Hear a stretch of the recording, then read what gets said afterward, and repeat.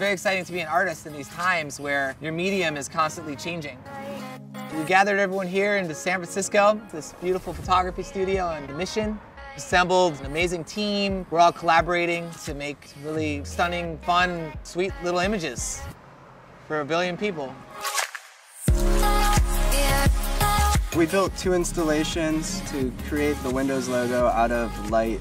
My name is Bradley G. Munkowitz. I'm the creative director of the project, I suppose. Bradley, yeah, he's, he's somewhat of a design star. He's worked on uh, feature movies like Oblivion and Tron. He's done all kinds of user interface design and motion design. He really is creatively thinking in ways that I didn't even know imaginable until I walked onto that set. Microsoft has been really open to us taking it into a, a very vibrant experimental direction, a whole new look than we've seen from Windows before, and, and, and that's been really exciting. The project's all about one point perspective and kind of looking at the logo itself as a portal that was allowing us to look into space. In order to do that, we had to develop some kind of weird techniques, kind of a camera mapping of the logo.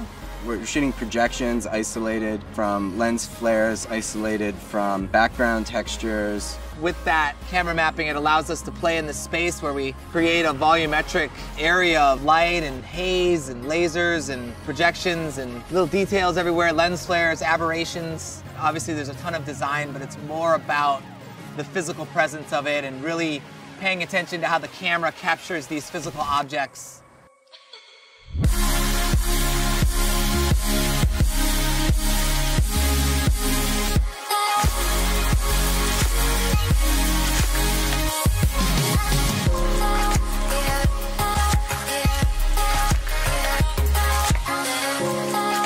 love the idea of delivering one perfect, pristine still